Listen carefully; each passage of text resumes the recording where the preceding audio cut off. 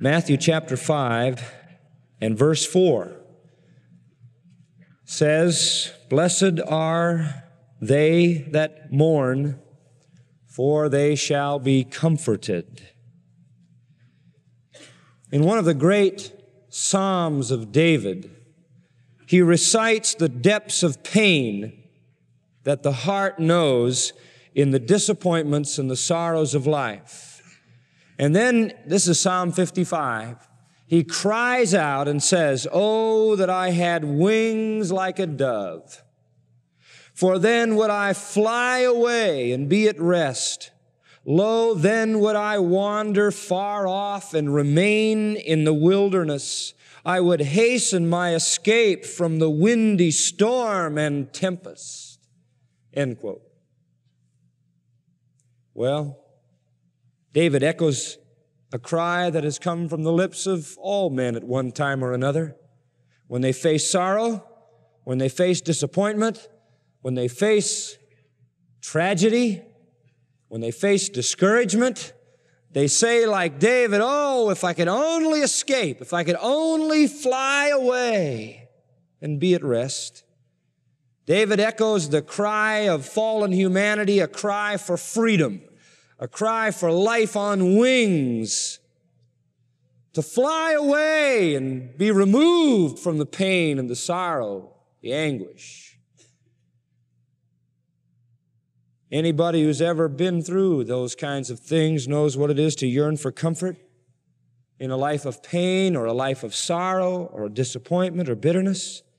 We all have longed to run away, to look away, to flee from sorrow to the place of comfort that is always so hidden and so elusive. And the deeper the sorrow and the deeper the disappointment and the deeper the pain, the more elusive that place of comfort is. And I guess that's the paradox of this beatitude. Because here it says, happy are the sad. We never thought that was true. Comforted are the mourners. That's contrary to everything we know the whole structure of our life, the pleasure madness, the amusement park mentality, the entertainment mania, the constant thrill seeking, the money and the energy and the time and the enthusiasm expended in living it up are an expression of the world's desire to avoid the mourning and to avoid the sorrow and to avoid the pain. But Jesus said, Happy are the sad, happy are those that mourn. In fact, Jesus also said in Luke 6 25, Woe unto you that laugh now, for your laughter shall become weeping. Well, that's different. Woe to you that laugh, for you shall mourn and weep. Happy are you that mourn, for you shall be comforted. Just the opposite of the world's philosophy. A new approach to life. And that's exactly what Jesus is doing, isn't he, in the Sermon on the Mount? He is offering a new approach to life. It condemns the apparent laughter and happiness of the world. It pronounces blessing. It pronounces happiness. It pronounces joy, peace, and comfort on those who mourn. You say, well, John, what in the world does this mean? Let's answer that question first of all, and we'll cover four questions tonight and give you answers to them, hopefully. First of all, what does it mean? Blessed or happy, Makarios are those that mourn. In what sense is that true? Let's talk about it. There are in the Greek language nine different verbs used in the New Testament that speak of grief. This is the strongest of the nine. This is the most severe. But the very fact that there are nine different verbs in one language to express the concept of grief is a pretty good indication that it is a way of life. That it is part and parcel of just living. And in fact, the whole of man's history is the story of tears and it's the story of sorrow. And by the way, we have had a lot of it, but we haven't had anything like what is yet to come. In the 24th chapter of Matthew, and the fourth verse, Jesus answered and said unto them, Take heed that no man deceive you, for many shall come in my name, saying, I am Christ, and shall deceive many. And ye shall hear of wars and rumors of wars. See that ye be not troubled, for all these things must come to pass, but the end is not yet. For nation shall rise against nation, kingdom against kingdom. There will be famines, pestilences, earthquakes in various places. Now, if you know anything about Matthew 24, you know that Jesus is talking about a time at the end of the age. And he follows it up in the next verse by saying, all these are only the beginning of sorrows. You haven't seen anything yet. The history of man is a history of sorrow. It's a history of tears. It's a history of pain and grief. And man has only seen the beginning of it. Now, just what kind of mourning is Jesus talking about? What does he mean when he says, blessed are they that mourn? What kind of blessedness is available for what kind of mourning? Well, the Bible talks about all different kinds of mourning, by the way. There are a lot of different kinds of mourning. Let me just share a couple with you. First of all, there is what, what you might call general sorrow, just the sorrow of life. A kind of a proper sorrow, if you will. A kind of a sorrow that is acceptable, that is very normal. Weeping and mourning in this sense is a part of human life. In fact, it's a gift of God. Did you know that? Did you know that the ability to cry is a gift of God? The pain and the anxiety that you hold in would poison your entire emotional system if it couldn't be released in tears, if it couldn't be released in sorrow. You see, weeping and sorrowing is like the releasing of a pressure valve that lets all of that out of your system so it doesn't poison your whole emotional character. It's a gift from God. It releases pain. It permits a healing process. And when pain is kept inside, and when remorse is kept inside, and when sorrow and mourning are kept inside, they poison the emotions. It's very natural to mourn. It's very natural to do that. Abraham wept when his wife died, and he had every right to do that. That's how he dealt with his grief. It came out in tears and mourning. In Psalm 42 verses 1 to 3, we hear the psalmist mourning, and this is what he says, as the hart, H-A-R-T, it's a small deer, as the deer panteth after the water brooks, so panteth my soul after thee, O God. My soul thirsteth for God, for the living God. When shall I come and appear before God? My tears have been my food day and night, while they continually say unto me, Where is thy God? In other words, the sorrow and the grief over the absence of God was released in the heart of the psalmist through the tears that came coursing down his cheeks. And you see, he was suffering from loneliness. And loneliness is reason enough to cry. It's reason enough to have some tears. And for even a, a child of God who may at one point in his life feel lonely and estranged from God, tears are a very normal way to deal with such sorrow.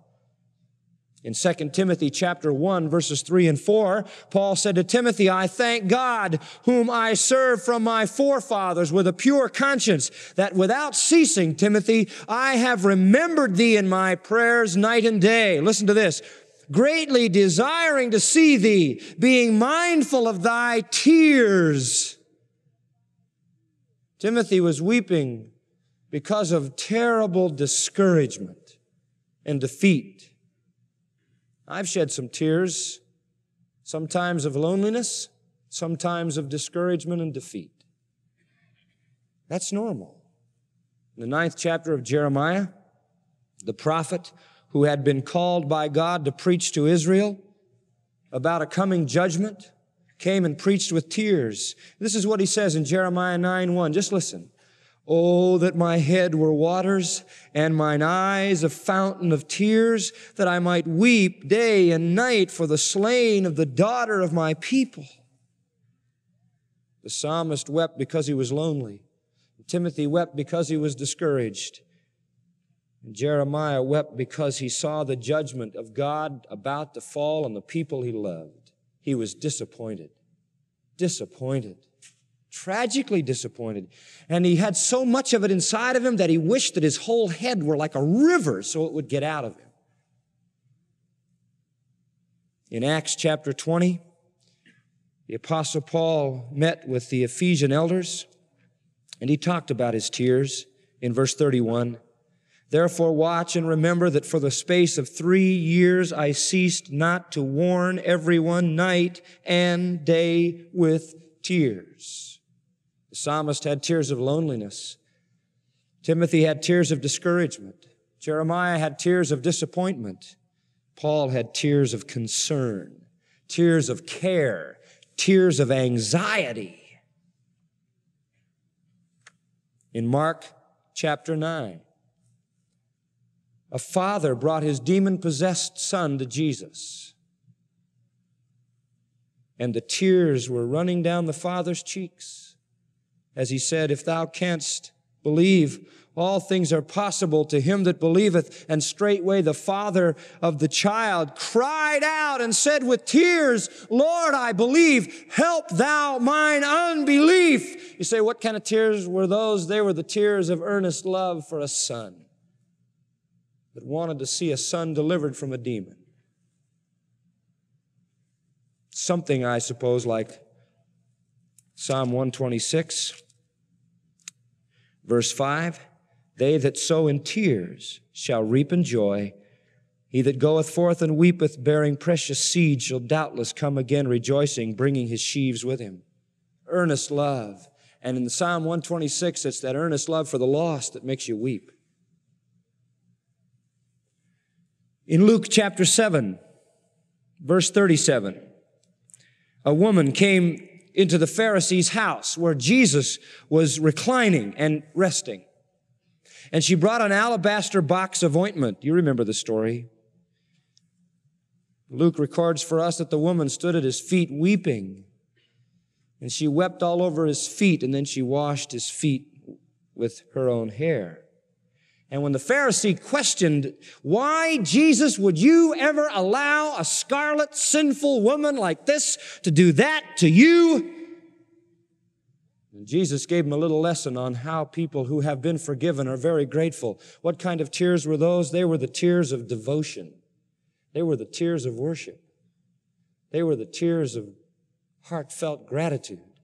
Sometimes people cry when they're thankful. Sometimes they cry out of earnest love. Sometimes they cry out of concern. Sometimes cr- they cry out of disappointment. Sometimes out of discouragement. Sometimes out of loneliness. And sometimes just out of love. Love makes people cry. Our Lord wept at the grave of Lazarus because he loved him and he had compassion. He wept over the city of Jerusalem because he loved them and had compassion. Mary Magdalene wept because Jesus was dead. And those are the, the sorrowing tears of death. And that's very normal. And that's a God given way to release that terrible pain that's in your heart. Nothing wrong with that. And so there is a sense in which to mourn in a very normal human way can be a blessing because you release those kinds of things. It's as if pain, it's as if rather tears are a gift from God for the release of pain. And there's a time for that. Ecclesiastes chapter 3, a time to be born, a time to die, a time to laugh, a time to cry. But in addition to that, there's another kind of human weeping that is different. It is not proper. It is improper. It is illicit. This is when a man mourns because he can't satisfy his lust. It's when he's got the tears of an unmet evil desire. This is, this is the tear of Amnon. You remember that Amnon in 2 Samuel 13 wept and mourned until he became sick, wanting to defile his own sister Tamar sexually. Thus did Ahab mourn. He wanted Naboth's vineyard. He coveted it so much that it says in 1 Kings 21, 4, he laid on his bed, turned away his face, and wouldn't eat any bread. He went into mourning because he wanted what wasn't his. That's an illicit, wrong kind of mourning. And then also, sometimes there is the mourning, the foolish extended mourning of people who can't let somebody go. You see it very often when somebody dies and a person becomes a literal basket case. It happens even in the case of Christians. Recently heard of such an individual who's, who's, in our vernacular, lost his mind because of the loss of a partner who went to be with Jesus Christ. That's pure selfishness the depressing sorrow of one who is so selfish he cannot rejoice in the exaltation of the one he loves so deeply. Now, there is another kind of illicit sorrow, and that's the sorrow that's overdone because of guilt. You know, there are some people who just get super sorry and super mournful as a way of atoning for their own sin. A good biblical illustration of this is David. David is, Absalom, you remember, had tried to dethrone his father. You can read 2 Samuel chapters 15 through 20 and get the whole story, but I'll just give it to you in a little short vignette here. Absalom tried to dethrone his father. Absalom was proud. He was egotistical. He particularly liked his hair. And Absalom plotted against David and he plotted against him to dethrone him and he drove David right out of the city, drove his own father out of Jerusalem. He took over the palace and he planned a coup that would wipe out David's forces. And so the battle came off Unfortunately for Absalom, his side lost and he was slain. David had told his soldiers, now when the battle starts, David said in 18:5 of 2 Samuel, deal gently for my sake with the young man, even with Absalom. Be easy on Absalom. You say easy on a vile, sinful, evil, rebellious man. Be easy on him. And when David was told that he was dead, he said, Oh, my son Absalom, my son, my son Absalom, would God I had died for thee, O Absalom, my son, my son. Now his love is admirable, his idea is stupid. Who wants Absalom to run Israel? The nation needed David, not the sinful, proud, egotistical Absalom. Why was David sorrowing like that? Because David was full of guilt because he'd been such a terrible father.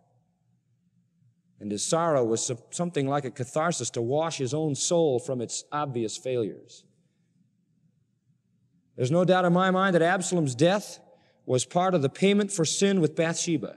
You remember if you go back in 2 uh, Samuel chapter 12, God said to David, you will pay four times for this sin. As the Lord liveth, he said, the man that hath done this thing shall surely die. He shall restore fourfold there were four great tragedies that came to David. The baby died, born of Bathsheba. His daughter Tamar was sinfully violated. His son Amnon was slain and Absalom was slaughtered. And the mourning over Absalom was kind of an atonement. And in 2 Samuel 19, it tells us the soldiers were actually ashamed they won because David was so sad. And Joab says, I perceive that if Absalom had lived and all of us had died, it would have pleased you well. You see, there is then an improper kind of mourning. Some people say, well, in general, this beatitude is just true. You know, when you weep, you feel a lot better. Sorrow has a way of just sort of building you up and strengthening you. And, you know, they even write poems about it. You remember the old poem, I walked a mile with pleasure. She chatted all the way, but left me none the wiser for all she had to say. I walked a mile with sorrow and ne'er a word said she, but oh, the things I learned from her when sorrow walked with me. It's a very nice poem. The Arabs used to say, all sunshine makes a desert.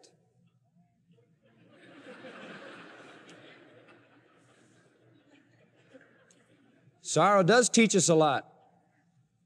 It's a nice sentiment, but that's not what this is talking about.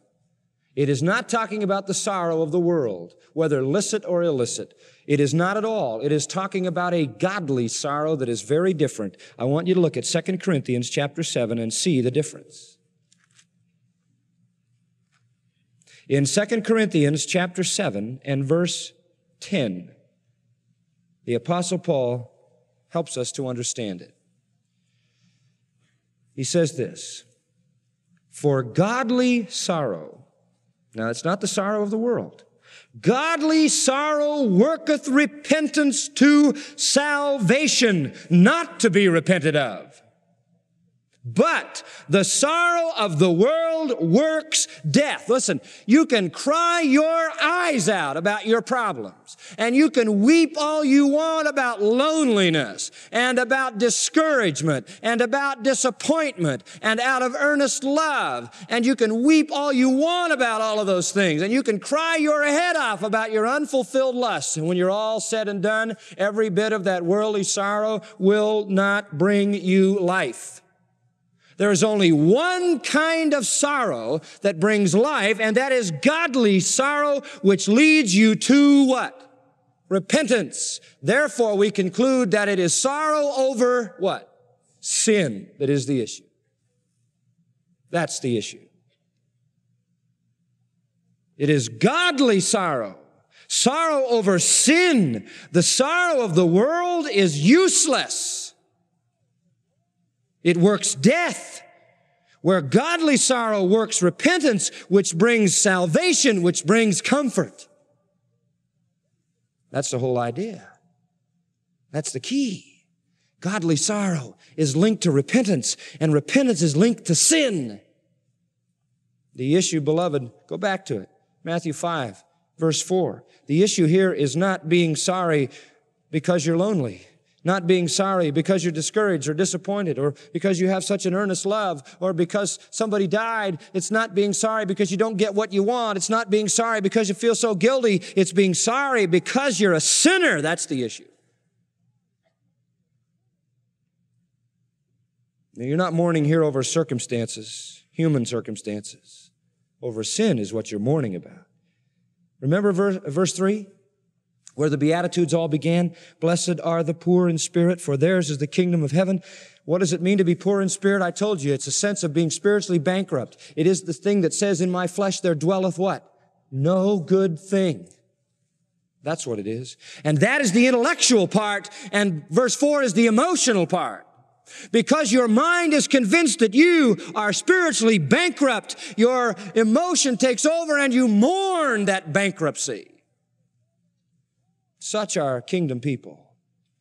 Poor in spirit is a recognition that we have nothing and that we are nothing and that we can do nothing. And it results in being a crouching, cowering beggar who has no resource, no capacity to help himself. And what he is saying, our Lord is saying in verse 3 is happy is the man who is absolutely destitute spiritually, who is nothing but a beggar who has to plead for mercy and grace because it's that kind of man who gets the kingdom of God, the kingdom of heaven. So what are we saying? People listen to it. Entrance into his kingdom begins with an overwhelmingly helpless feeling of spiritual poverty. It begins with a sense of the bankruptcy of the soul. That's where it begins. As long as you live on this earth, you will never enter God's kingdom unless you have a sense of spiritual bankruptcy. And if you are a child of the kingdom, you'll never lose that sense that in your flesh continually dwells no good thing. As long as we live, we have the same sense of spiritual poverty. If it wasn't there at the start, you're not a Christian. If it's not there now, it's questionable whether you are a Christian because it's part of kingdom people. George MacDonald refers to this principle in his exposition on the Sermon on the Mount. He says this, the poor the beggars in spirit, the humble men of heart, the unambitious, the unselfish, those who never despise men and never seek their praises, the lowly who seek nothing to admire in themselves, therefore cannot seek to be admired of others, the men who give themselves away, these are the free men of the kingdom. These are the citizens of the New Jerusalem, the men who are aware of their own essential poverty, not the men who are poor in friends or poor in influence or poor in acquirements or poor in money, but those who are poor in spirit who feel themselves poor creatures, who know nothing to be pleased with themselves for, and desire nothing to make them think well of themselves, who know that they need much to make their life worth living, to make their existence a good thing, to make them fit to live. These humble ones are poor, whom the Lord calls blessed.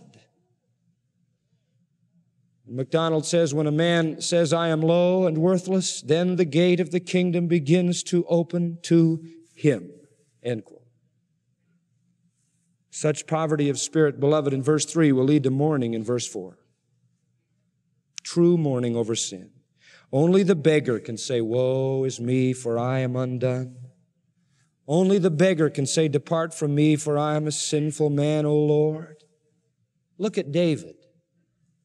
After his terrible sin with Bathsheba, after he had managed to make sure that Uriah, her husband, was murdered, he not only saw how poverty stricken he was, he not only saw that he was absolutely hopeless, that in sin did his mother conceive him in Psalm 51, but he mourned so deeply that it wrenched his soul to its very depths.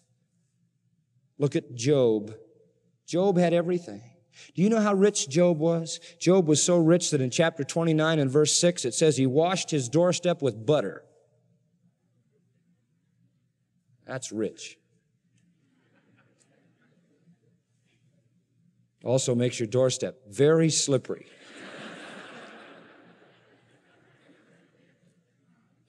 Job had everything. But the man was never really made a man until he comes clear to the 42nd chapter after having God flatten him till he realized he was nothing. And he says, I have heard of thee by the hearing of the ear, but now mine eye seeth thee. And his response, I abhor myself and I repent in dust and ashes. Anybody who ever gets a true picture of who he is related to God has that same reaction. And that's the only way into the kingdom. You got to crawl. The word mourning here in this verse is the strongest of all the Greek words. It is reserved for mourning for the dead, the passionate lament for one loved deeply and lost. In the Septuagint, it is used of Jacob's grief when he believed Joseph, his son, was dead. Genesis 37. It's used in the Gospels, in Mark, for example, in chapter 16 and verse 10. And she went, and this is, of course, after the death of Christ, and told those who had been with him as they mourned and wept. It's the same word. It's the strongest word that you use when someone is bewailing the death of one greatly beloved. You find it in Revelation 18 as the evil system bewails the death of its commerce in the great Babylon's destruction in the time of the tribulation. Now, let me say another word about this, this concept of this word itself. The word conveys the idea of a deep inner agony, not just an external wailing. There's another Greek word that has to do with just shouting out a wailing. This is a deep inner pain. We see it with David.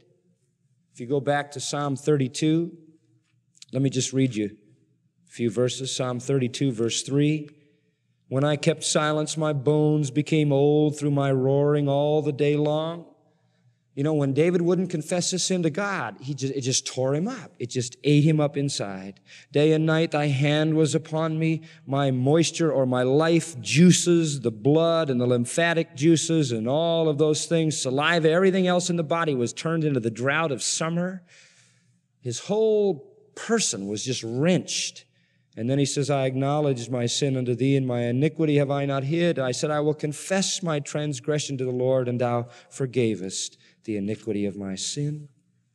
In Psalm 51, reflecting on the same sin of Bathsheba, he said, Have mercy on me, O God, according to thy loving kindness, according to the multitude of thy tender mercies, blot out my transgressions, wash me thoroughly from mine iniquity, cleanse me from my sin, for I acknowledge my transgressions and my sin is ever before me. I can't get it out of my vision, I can't get it out of my mind.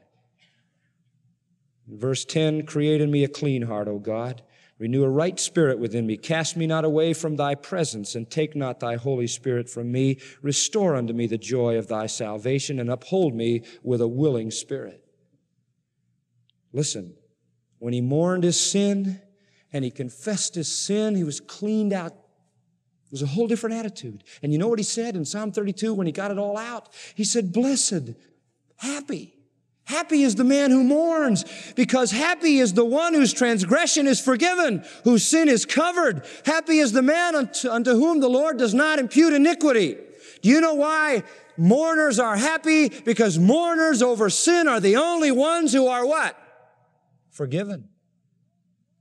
The rest of the world has to live with that guilt endlessly with no relief. Beloved, let me say this. The happiness doesn't come in the morning, it comes in what God does in response to it. You just try as a Christian to keep sin in your life and bottle it up, and you just see how ruinous it becomes. You confess it and see the freedom and the joy that comes in forgiveness. Listen, David had experienced the tears of loneliness. David had experienced the tears of rejection. He had experienced the tears of frustration, the tears of discouragement and disappointment. He had experienced the tears of defeat. He had even experienced those illicit tears of his own guilt, where he tried to atone for his own sin, but nothing ever broke the heart of David to tears like his own sin. And then God comforted him, and he said, Happy is the man whose transgression is forgiven. Happy are the sad. You know what the world says? Pack up your troubles in your old kit bag and smile, smile, smile.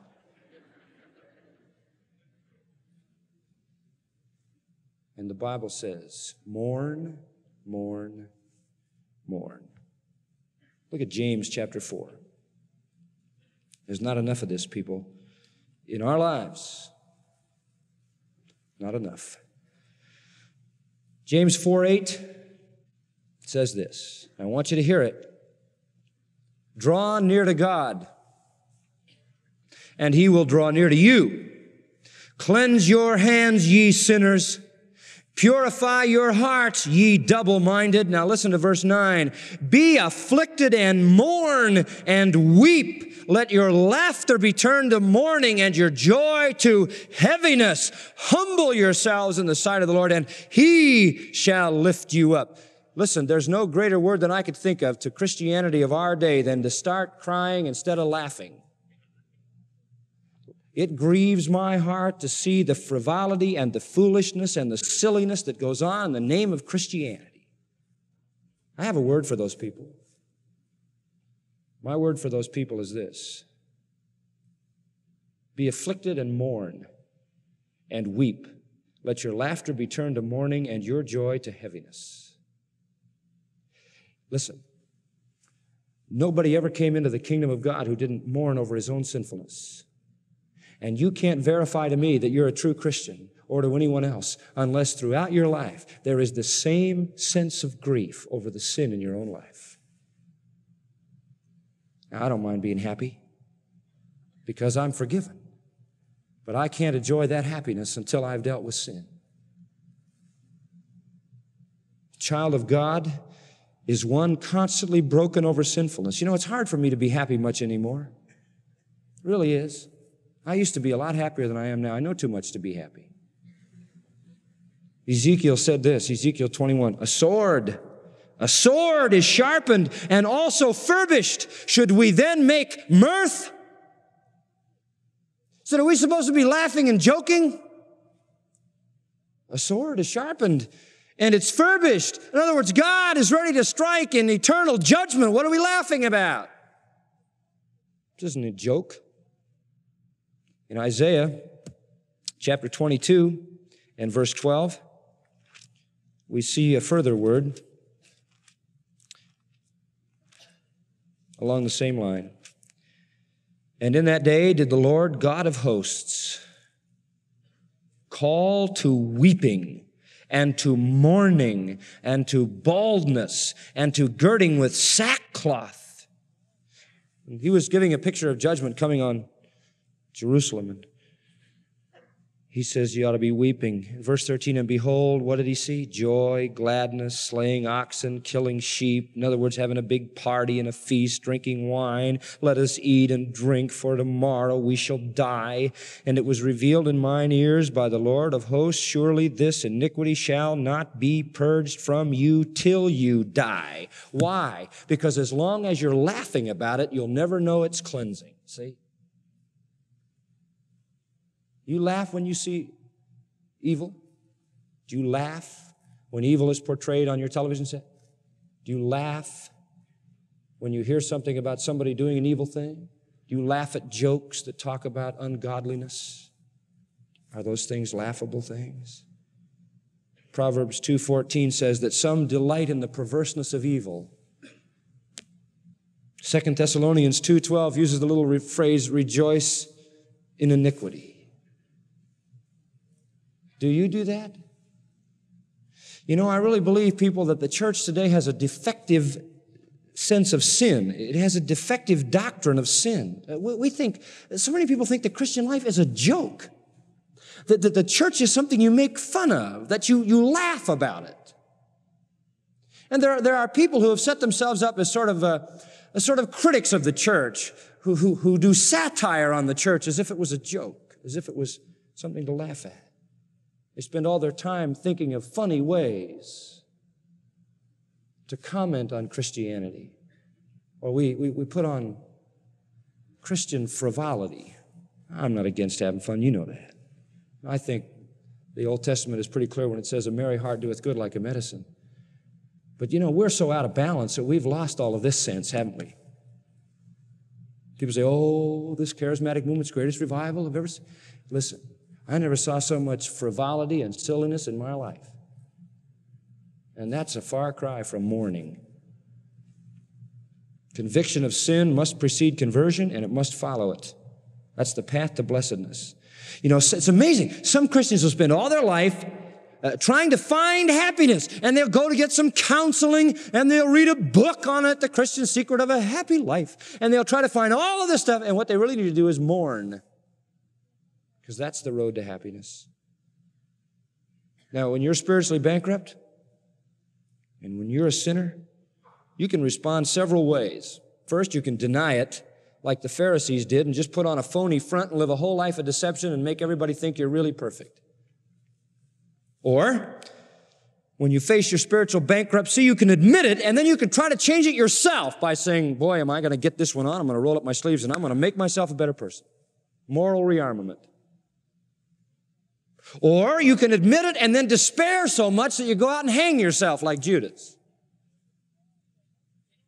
You just can't hack it. You're a sinner and you know it and you just can't handle it. Young man in our church, been here ever since I came here, two days ago. No, yesterday. Took a gun, killed himself. Found his body. He knew he was a sinner, I'm sure. Couldn't handle it. Despair was so deep, he took his life. So you can deny it, put on a phony front, you can admit it, try to change it yourself. You can admit it and sink into despair.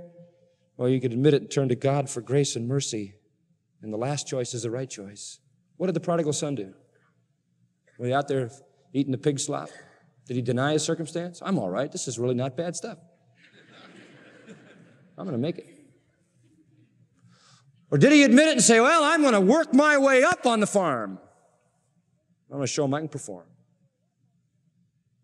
Or did he admit it in despair and just fall down and drown in it? No, he did the right thing. He admitted it and then he went back to the Father where the source of grace and mercy was to be found. He mourned. Salvation comes by repentance, comes by mourning, and God demands it.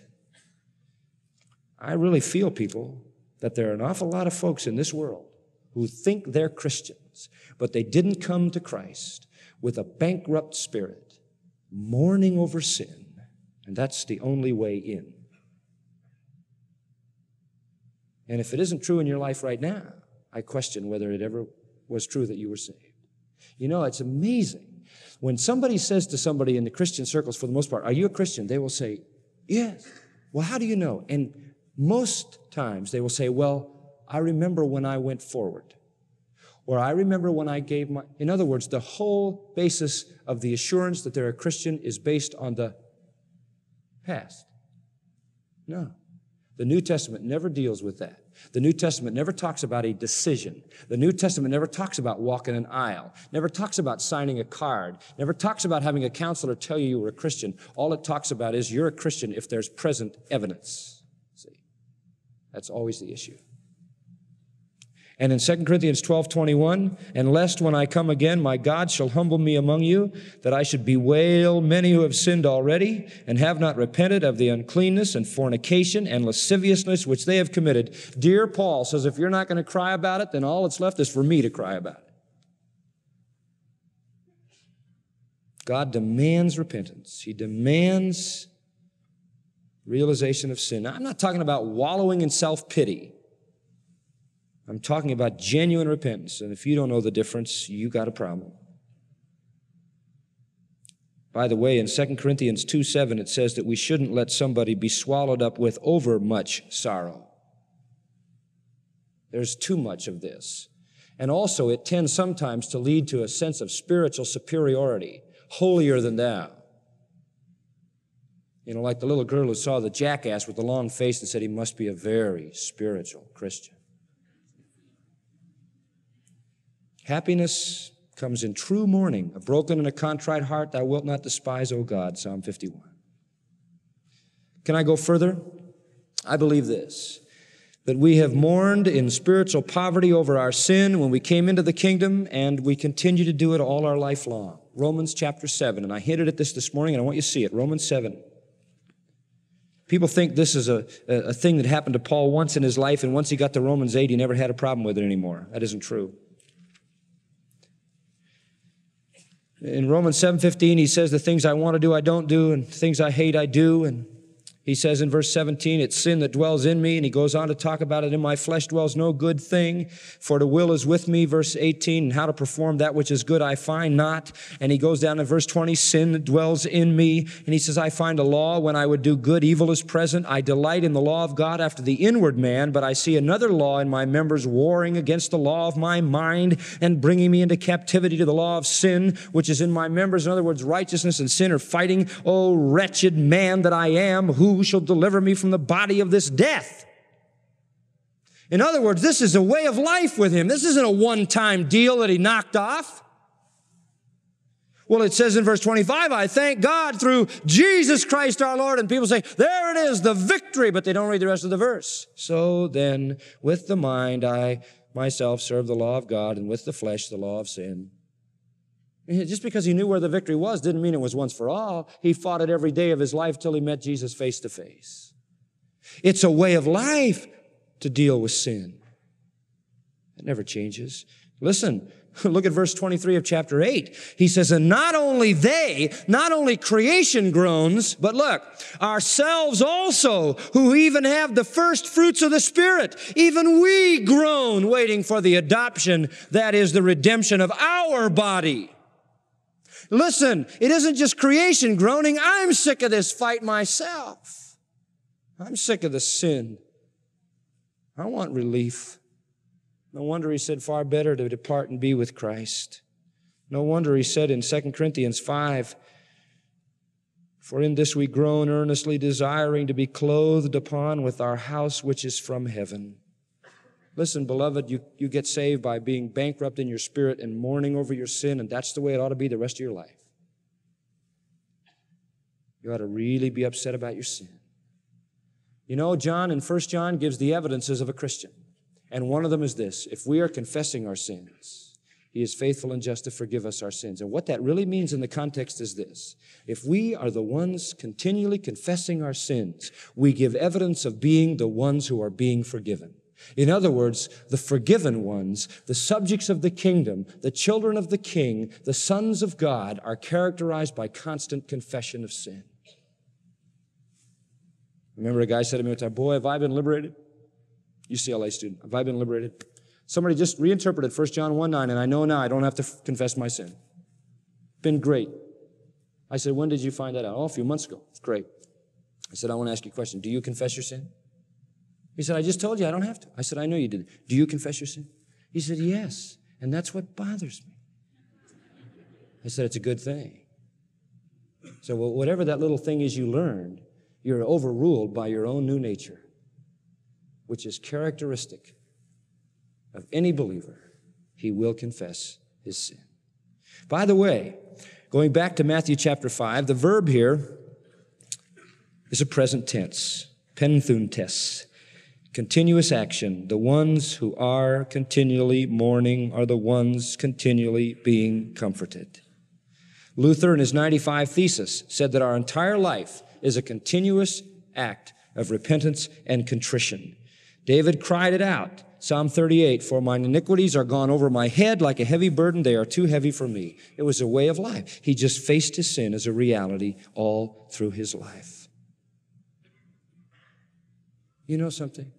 In all of the New Testament, we find so much about Jesus, but one thing we never see Jesus do in the whole New Testament account is laugh. Never laughed. Well, I don't know if he did laugh or not, but it isn't recorded. Hard, to me, hard for me to imagine that he had much to laugh about. He was hungry, he was angry, he was thirsty, but never says he laughed. And that's such a part of human emotion. But it does say he wept. He was a man of sorrows, acquainted with grief. I think we've left that. We have been sucked into an entertainment, thrill seeking, pleasure mad, silly world of fools and jesters and comedians some of them even trying to ply their trade in the church. Do you know that it was a man introduced the other night on a Christian television program as the leading Christian comedian? Who needs that? That's what it means. You understand now, don't you, what it means to mourn over your sin? What's the result of it? Second question. These will be shorter. And I didn't say all I wanted to say either about that. You realize you just get the tip of the iceberg week after week. Living with that frustration is very difficult. What is the result of mourning? You say, so what's it going to get me? I'm mourning around, mope around, sorry for my sin. What do I get? Comfort. Comfort. By the way, as I said before, mourners are not blessed because they mourn. Mourners are best blessed because they comfort. You don't mourn, you don't get comfort. You just try to hide your guilt and it eats away. There's no happiness in the sorrow of the world because it can't be comforted. And by the way, they use the emphatic pronoun autoi here, which means Blessed are they who continue to mourn, for they alone shall be comforted. It is only the mourners who know the comfort of God. It is only those who mourn for sin who know what it is to have their tears dried by the loving hand of Jesus Christ. They shall be comforted. Parakaleo, from which we get the paraclete, the one called alongside to help, the one that Jesus referred to, the comforter.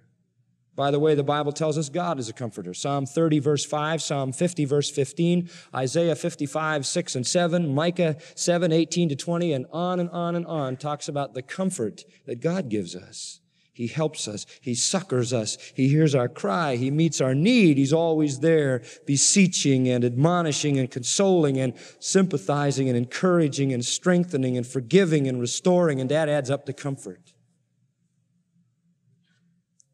As our mourning rises to the throne of God, His unsurpassed and matchless comfort descends from Him by Christ to us. God is a God of all comfort, the Bible says. And did you know who the comforter was? The first comforter was Jesus because he said, when I go away, I'll send another what? Comforter. He was the first one. God, the God of all comfort, Christ, the first paraclete called alongside to help, and the Holy Spirit followed up on the work. God is a God of comfort. Christ is a Christ of comfort. The Holy Spirit is a spirit of comfort. And beloved, I don't believe that this is a future tense thing completely. I don't believe it's just saying, well, gut it out, folks, because in the kingdom you'll get comfort. I don't think that's what he's saying. I think the connection here, and you can do some study in the in the verse itself in detail in the Greek, and the implication here is that comfort runs alongside of mourning. As long as you will continue to mourn, you will continue to be comforted. It is the now concept. Oh, there's a final aspect. Sure. There's a final aspect when we all go into the eternal kingdom. And Revelation 21 4 says, And God shall wipe away what? All tears from their eyes. And there shall be no more sorrow, no more crying, neither shall there be any more pain, for the former things are passed away. But that's future. But there's a present tense. The Spirit is the comforter. When Christ was on the earth, He was the comforter. By the way, the Word of God is a comforter. Did you know that? The Bible is a comforter. It says that in Romans chapter 15 and verse 4. Whatever things were written in earlier times were written for our learning, that we through patience, and listen to this phrase, and comfort of the scriptures. Why was it written? To comfort us. Because it tells us about God's love and it tells us about His forgiveness and it tells us about His help and it tells us about His encouragement and His presence and all of those things. So we would say that the subjective work of the Holy Spirit comforts us and the scripture comforts us. And I'll tell you something else. We comfort each other, don't we? I love to hear the apostle Paul when he says, I was comforted in the coming of so and so. As we deal with our sin, God comforts us by the inside work of the Spirit, by the work of the Word, by the ministry of other believers. And when we are comforted, then we are happy. Happiness comes to sad people not because they're sad, but because their sadness leads to comfort. I love what Jesus said in Matthew 11, 28. Come unto me, all you that labor and are heavy laden, and I'll give you rest. You know something? You're not going to come looking for rest unless you know you got a load, right? Unless you're heavy laden. Unless you feel your sin. Unless it's bending your back and weighing you down. And then you come and you find rest. And he takes away your heavy load and gives you his yoke, which is easy, and his burden, which is light. Listen, carrying on my back the standards of God and the commandments of Christ is an easy burden compared to carrying the weight of my sinfulness. Comfort, comfort for as long as we mourn, as long as we confess sin. Beloved, it comes down to that. Listen now. As you confess your sin day after day, day after day before the Lord, He gives you comfort. He gives you comfort. And in that comfort comes the happiness. And then you can smile. And then you can laugh. And then you can rejoice. You say, Well, I now know what it is. It's to mourn over sin. I know the result. I'll be, I'll be comforted. And in the comfort comes happiness. Let me ask a third question How can I become a mourner? How can you become a mourner? Now, this is our closing two questions that I want you to think about. How can you become a mourner? First, eliminate the hindrances. Eliminate the hindrances. You say, John, what do you mean? Uh, I mean that most of us have hindrances to really realizing sin. You say, well, well these are the things that make our hard heart. Uh, uh, these are the things that make us past feeling. These are the things that make us resist the Spirit, that make us insensible. A stony heart just doesn't mourn. It's void of grace. the plow of God can't break it up. It just treasures up wrath against the day of wrath. Get rid of the hindrance. You got to get rid of that stony heart. You say, well, what are those things that make a heart stony? Let me give you a list real quick. Here are the hindrances to mourning. These are the things that make the heart stony. One, love of sin. Listen, if you love your sin, you will freeze your heart into impenitence. You will petrify your heart if you love sin. Second, despair. Despair. You know what despair says? God can't forgive this.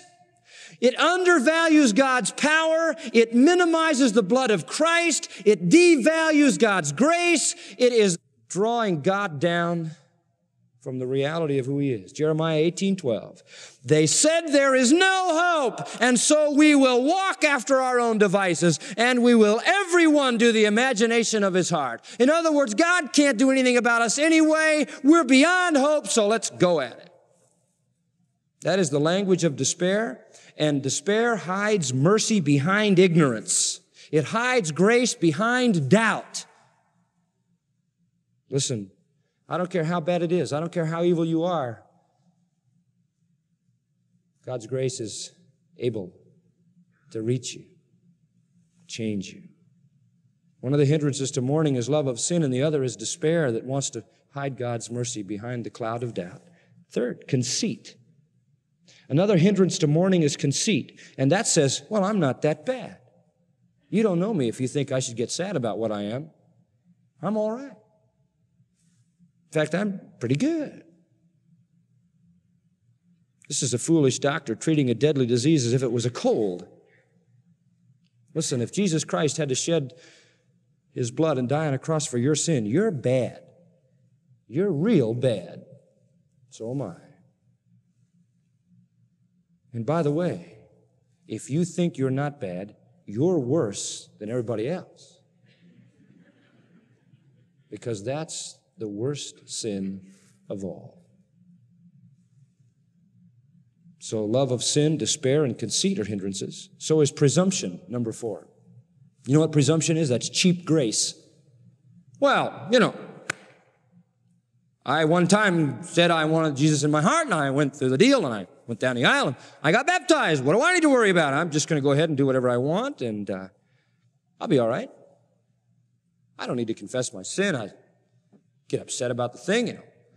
Like the guy I told you about this morning said the other day, he said, You don't have to change anything in your life. Just take Jesus and you're all right. You'll clean it up. Isaiah 55, 7 says, Let the wicked forsake his way and return to the Lord, and he will have mercy on him, and he will abundantly pardon. And if the wicked does not forsake his way, there is reason to believe that he hasn't got any pardon. See. Don't you ever presume. There's no such thing as cheap grace no license.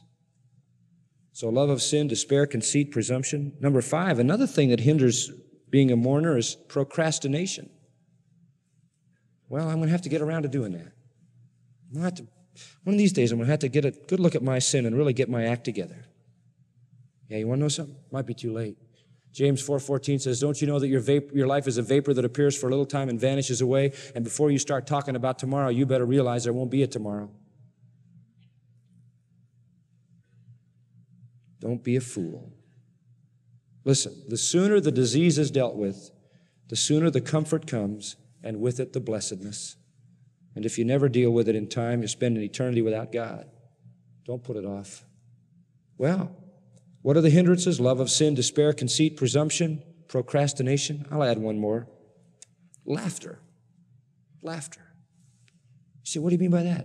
I mean that there are some people who just don't want to deal realistically with life. They just want to laugh all the time. It's just one big party. And as long as they can keep the party going, they'll never have to face the issue. Listen to this Amos 6 5. He talks about these unrighteous people. He says, it's really a woe Woe to them that chant to the sound of the harp and invent to themselves instruments of music like David that drink wine in bowls. In other words, a cup isn't enough. They got to have a bowl of it. And they anoint themselves with the chief ointments, but they are not grieved for the affliction of Joseph. They shall go captive with the first that go captive he says. fools that laugh when there's no cause for laughter. There's no place for laughter, no reason for it. They should be in sorrow. In Job 30 and 31, again, this hindrance is indicated. My harp is turned to mourning and my flute into the voice of them that weep. In other words, you know, our world is, is mad about parties and music. You know, one of the first things God's going to do when the whole thing comes down in the tribulation is, is shut off all music. Did you know that in Revelation 18? All music's going to just stop. People are going to have to stand around facing reality. Turn off the radio once in a while to help you to realize what's really going on inside of you. Well, love of sin, despair, conceit, presumption, procrastination, laughter. These are hindrances you say, well, John, how do you get rid of the hindrance? Well, one way is to look at the cross. If you're playing around with all these ditties and you don't understand the significance of the cross, you don't understand what Christ did. You see Christ dying for you. If that doesn't break your stony heart, I don't know what will. Christina Rossetti wrote this Am I a stone and not a sheep? That I can stand, O Christ, beneath thy cross to number drop by drop thy blood's slow loss and yet not weep? Not so those women loved who with exceeding grief lamented thee. Not so fallen Peter weeping bitterly. Not so the thief was moved. Not so the sun and moon, which hid their faces in a starless sky, a horror of great darkness at broad noon. I, only I. Yet give not o'er, but seek thy sheep, true shepherd of the flock, greater than Moses. Turn and look once more and smite a rock. Listen, if you've got hindrances in the way, take a look at the cross, a good look, and see how much you need Jesus Christ. How much you need to face your sin. Look what it cost him. So, first, remove the hindrances. Second, study sin in the scripture. Study it. David said, My sin is ever before me. Study David. Study Isaiah, who said, Oh, woe is me, for I am an unclean man. I dwell amidst the people of unclean lips. Study Jeremiah, who wept over sin. Study Peter, who said, Depart from me, I'm a sinful man. Study Paul, who said, I'm a chief of sinners. And listen to him talk about their sinfulness. And then when you've compared yourself with the greatest of men who ever lived, try to convince yourself you're not a sinner. Sin tramples on God's laws. Sin slights His love. It grieves His spirit. It spurns His blessedness. Sin affects us drastically. It makes us naked. It makes us impure. It robs our robe and our crown. It spoils our glory. It leaves us in filthy rags and filthy garments. Made in God's image, we become like beasts that perish. Eliminate the hindrance and study sin. Third, pray for a contrite heart. After all, only God can do that and he'll not turn down one who really asks. So, what does it mean? It means to mourn for sin. What are the results? Comfort and happiness. How can I be a mourner? Remove the hindrances, study the scripture, and pray. In conclusion, how can I know if I'm a mourner? How can I know when I get there? Very simple. You ready? Ask yourself if you're sensitive to sin. Are you? How do you react to sin? Do you laugh at it? Do you let it pass by? Do you take pleasure in it? Some of you are doing it. Some of you are living in it. All kinds of sin. And you never deal with it. Maybe, maybe it's the sin of in an immoral area. Maybe it's a sin in your business. Maybe it's dishonesty. Maybe it's a failure to pray. Maybe it's a failure to think good thoughts, failure to be loving. Maybe it's who knows what? How do you react to it? Do you mourn over your sin? Let me go further. I believe if you're a true mourner, you'll not only mourn over your sin, but you'll mourn over the sins of the world. You know, I see Jeremiah, and Jeremiah cried, and he said, Oh, my head were a fountain of waters that I could weep and weep. You say, Jeremiah, what do you want to cry about? I want to cry about these people. These people are sinful people and they're damned. These people are going to be judged. Do you, do you feel that way about other people's sin? Jesus sits atop the mountain, looks down on Jerusalem, and it says he wept. And he said, Oh, Jerusalem, Jerusalem, how oft I would have gathered thee as a hen gathereth her brood, but you would not. He wasn't weeping over himself, he's weeping over them. You see, Ezekiel and, and you must see Ezekiel weeping in chapter 9. The whole of 9 and 10 you can look at, but in 9 4, the Lord said unto him, Go through the midst of the city, through the midst of Jerusalem, and set a mark on the foreheads of the men that sigh and that cry for all the abominations that are done in the midst of it. You go find the mourners, you go find the people that cry for their brothers and sisters in Psalm, that great 119, that long Psalm in verse 136, rivers of water run down mine eyes because they keep not thy law, says the psalmist. Do you weep like that? Is your heart literally broken when God's heart's broken? Do you say with David in Psalm 69, zeal for thine house has eaten me up, the reproaches that fall on you are fallen on me, I cry when you cry? Lamentations 1:16 Jeremiah says for these things I weep mine eye mine eye runneth down with water when I see the people of God turning from him. I mean do you really weep over your sin and the sins of the things around you? If you're a mourner you do.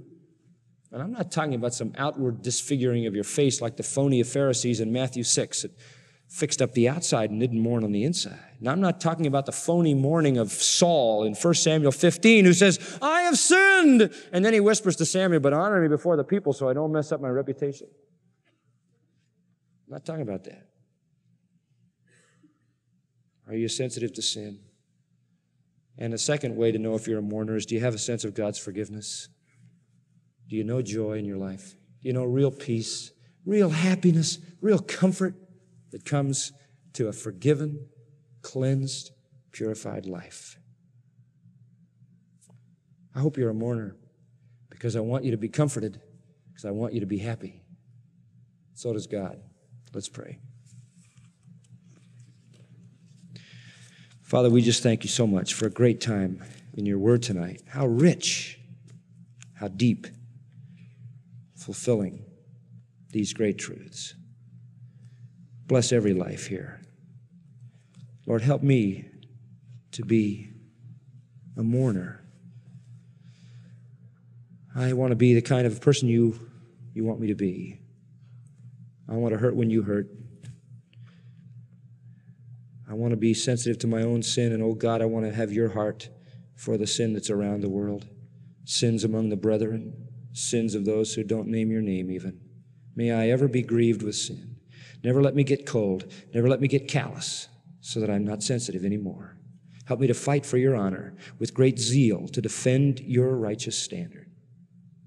And when I break it or anyone else breaks it, may my heart be in anguish. For then and then alone will I know the great comfort and happiness you want to give.